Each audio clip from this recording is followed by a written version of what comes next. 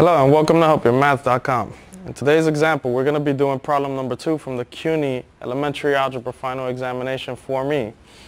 Uh, the second problem here is talking about square roots and in there, in this problem, we're going to be using distribution uh, to solve and evaluate this problem. Now, when we take a look at the problem, we have the square root of 5 times the sum of the square root of 3 plus the square root of 5.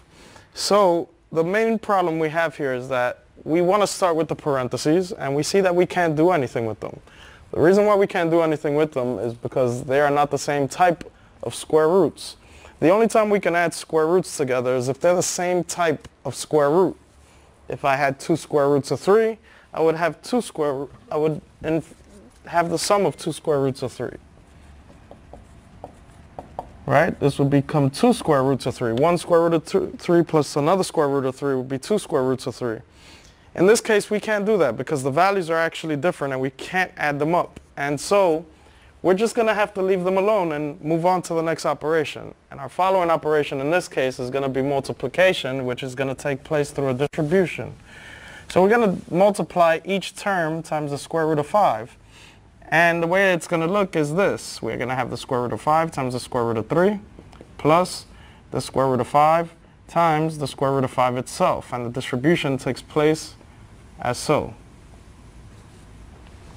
Now, when we're multiplying square roots, what we want to do is take the outside number, which is a 1 on the 5, and the outside number of this one, which is also a 1, and multiply them, those two together, which would just become 1, and then multiply the inside numbers together as well.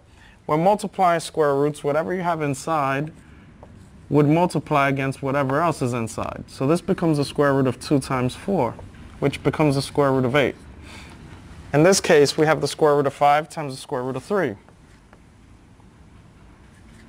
And over here, we have the square root of 5 times the square root of 5. So this becomes 5 times 5. Now this here gives us 15. And over here, we get 25. And this actually has a square root value, why this one doesn't, right? So we're going to have the square root of 15 plus just 5. 25 is a perfect square and the square root of 25 is also 5. And so this will be our final answer.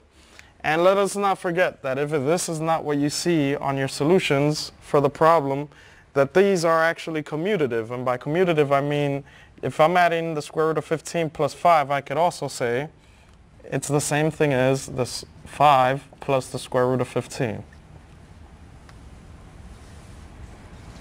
And there you go. That's our solution. Thank you.